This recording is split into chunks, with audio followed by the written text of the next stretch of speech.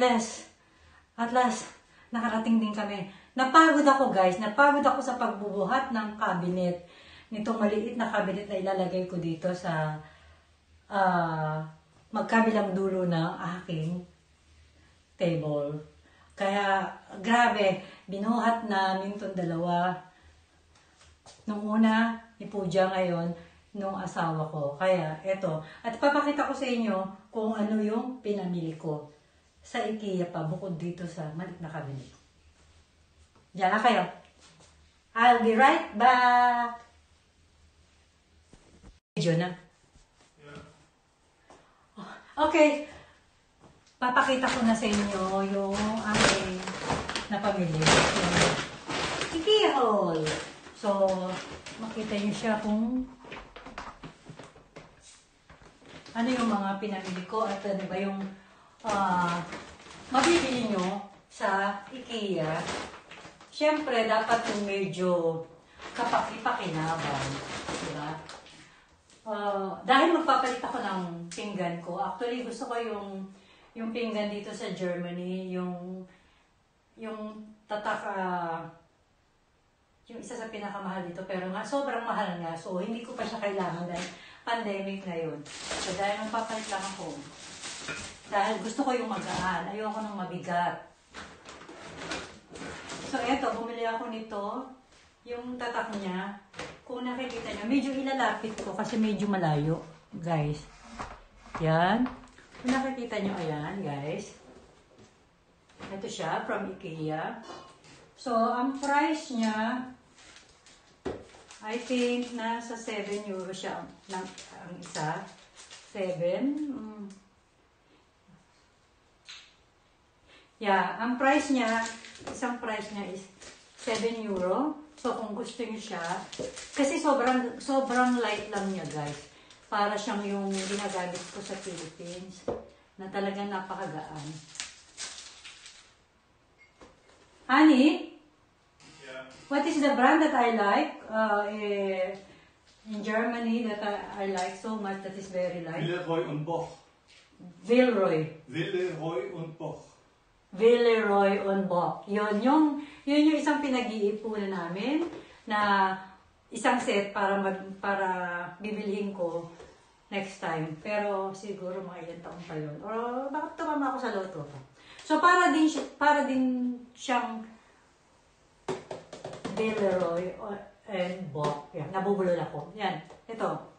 Yan, so dalawa siya guys. Dalawa yung pinili ko. Ayan. Dalawa. And then, syempre, dapat may katerno siya na pang spaghetti. So, ito naman siya. Pang spaghetti naman siya. Ayan. So, two pieces na rin siya, guys. Ayan, two pieces na yung laman niya. Makikita nyo. Ayan. Tapos, meron akong maliit na patuyuan lang siya ng pinggan kasi yung dati ko malaki. At ang hirap linisin. So, ito, medyo mas affordable siya. Only for 2 euro. 2 euro. Ayan. Ano? Baka gusto nyo. Ibili. Tapos ito naman, wala lang. Nakita ko lang siya. Placemat din siya pero maliit lang. Ah, kung halimbawa meron lang kayo paglalagyan, baka kailanganin, 50 cents lang siya. So, apat siya, 1 euro. Ah, 2 euro also. And then ito, yung isa, actually guys, dalawa siya. Pero dahil yung asawa ko, binitbit siya, nabasag. Ito pa yung basag, ayan no. Nabasag siya.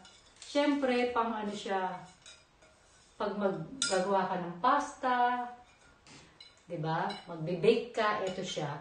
Kasi yung transparent, ayoko nang gumamit ng transparent dahil kapag nagbe-bake ka, minsan ang hirap na matanggal yung dito, yung yung kumapit na. So mas mainam na itong white. I like white, you know. So, ito na yung isa. Pinamili ko. Ito yung pangalawa. Ito yung isa, pangalawang suko. Ayan guys.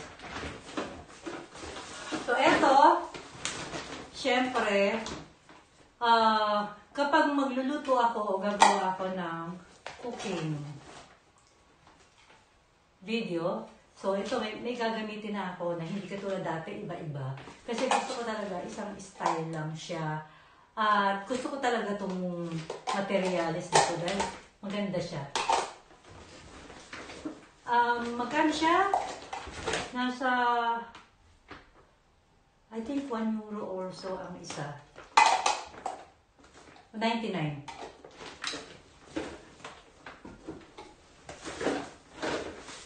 So ito, syempre, ito rin yung isang pinuntahan ko doon. Dahil alam niyo ba guys, ayaw ayoko yung, yung mga cables ko. Nakalitaw lahat from, dahil ang dami kong saksakan. So ilan-ilan yan, ilan yung nakasaksak sa akin.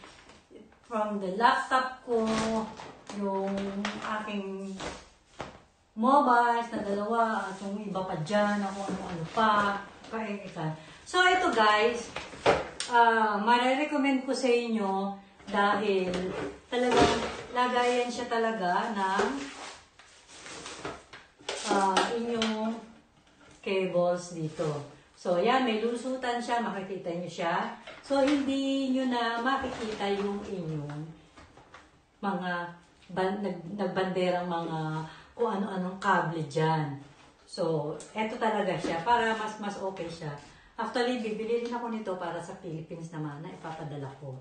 So, ang price niya, ito ay nagkakahalaga ng bali magkano siya? I think magkaiba kasi yan ng price, magkaiba ng price. Ito 14. Yung ito lang hindi kasama yung takip. Tapos ito naman takip, I think 7 euro. So, all in all, nasa 20 plus siya. Ayan. So,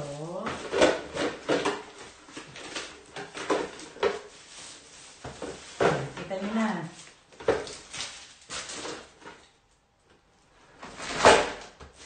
Our next is, syempre, dapat meron tayo pang kusina.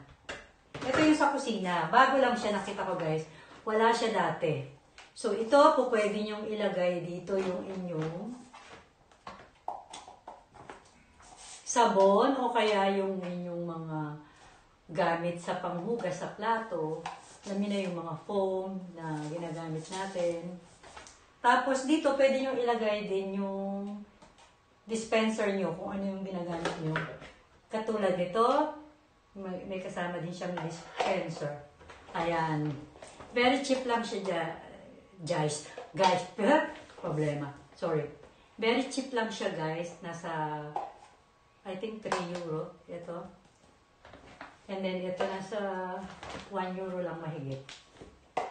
So, ayan. Magkasama na siya dyan. Nakalimutan ko pang bumili ng isa. Dapat pala dalawa, no? Ang syunga-syunga ko talaga. So, ayan, guys. Baka meron kayong idea. Ayan, pang kitchen mo. Maganda. Diba? Basta ang kulay ko lang, gray and white. So, pag meron akong ibang kulay na dinadagdag, ito lang yun. Kasi kung magtatatlong kulay ako, yung aakma siya dun sa gray or light gray. Ayan. So, ito yung talaga pinita ko. Yan. Kailangan ko kasi na lalagyan ng halaman o ng aking mga bulaklak. Kung mayroon man. Meron daw ba? Ito siya. Ang maganda dito guys, meron na siyang sabitan. Hindi mo na siya kailangan bumili ng bukod. Kasi yung meron kaming dating nabili, wala kami sabitan. So, kailangan mo pang bumili ng nakabukod.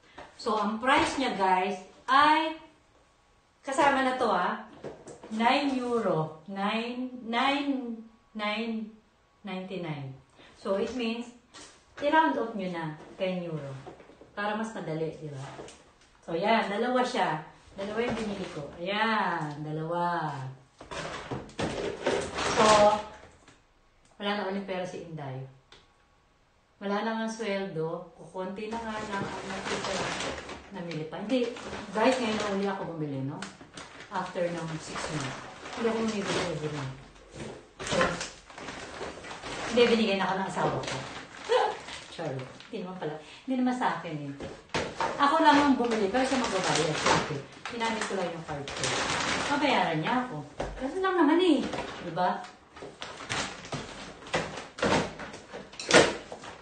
So, ayan na guys. Ayan yung nabili ko. At syempre, yung pinaka pinuntahan ko. At naka-sale siya. Alam niyo ba kung ano? Sobra. Ayan. Swerte, swerte ko talaga dahil na, ayan siya guys. Ito guys, ayan. Ayan, makikita niyo yung kalat ko muna doon. Ayan. Itong dalawa na to, ayan, guys. Nabili ko siya. Ang baba ko lang siya. Ayan, sobrang baba ko lang talaga siya nabili, guys. At napakaswerte ko dahil nakasale siya sa IKEA. Ayan, so dalawa na yung binili ko, imbis na isa. Ayan, kasi ito talaga yung kailangan natin. Ayan, makikita nyo. Yung madami siyang mm, drawers na kailangan natin. Ayan. Magkano ko siya nabili? Nabili ko lang siya ng 35 each. Ang baba, di ba guys? Ang baba. 35 each yan. Yan. So, ilalagay ko siya dito sa gilid, dyan sa gilid ng aking table. Magkabilang gilid siya. Ang gulo pa ng ano ko, ah, pasensya na kayo, magulo kasi iniwan ko siya kanina. So, mamaya, ipapakita ko sa inyo kung ano yung itsura niya na kapag nailagay ko na itong dalawang table. Okay. Let's get ready na tayo. Siyempre. Hi. Dalawang ilaw ko, oh, nakabukas. Guys, ito na yung promise ko sa inyo na mapakita ko kapag nailagay na yung cabinet. Ayan na siya. Ayan, nasa magkabilang gilid na siya nitong table ko. Ayan, kung makikita nyo, ayun yung isa nasa kanang bahagi at yung isa naman nasa kaliwa. Ayan siya. So, wala pa siyang laman.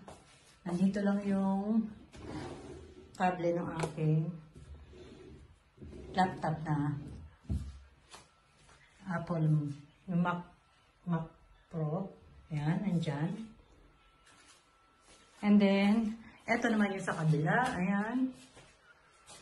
Ito siya, yung aking Welcome to my YouTube channel. Gamit na gamit ko siya, guys. At nagpapasalamat ako. I'm thankful for my stepson, Matias, and the girlfriend of Matias, si Nadine. Eh, they gave it to me last December, oh, Christmas 2019. And it's very good. Wonderful gift. And I love it. So, yan siya. And then, ito yung sinabi ko din sa inyo na ah, tungkol sa kable na binili ko rin to sa IKEA. So, ganyan siya guys. Kapag, kapag inayos nyo siya, lahat ng kable nasa loob na siya. So, pag gagamitin nyo lang siya, ito lang, hugutin nyo lang. Mga nakalabas na siya. So, hanapin nyo lang siya sa IKEA. Mapapaganda na yung bahay nyo. Yan. Diba? Mas okay na siya ngayon. So, next, ano yung susunod natin? Abangan kung ano pa. Sa konting halaga, maganda na yung kwarto. Hindi na kailangan ng mamahalin.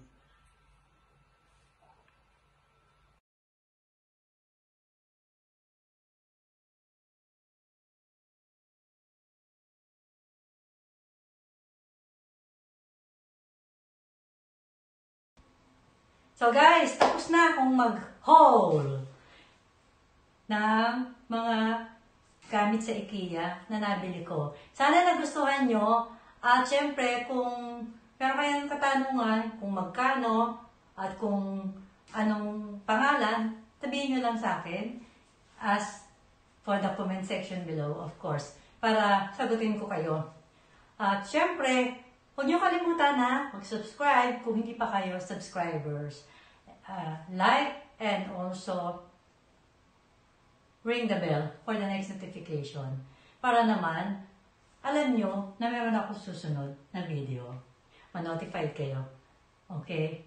Maraming maraming salamat. Hanggang sa muli at I'll see you there.